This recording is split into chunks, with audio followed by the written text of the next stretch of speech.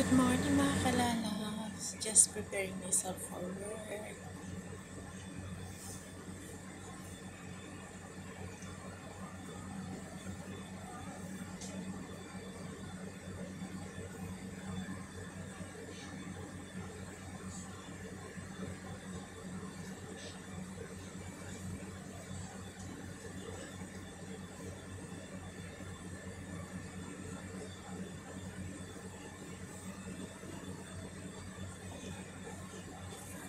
Hello.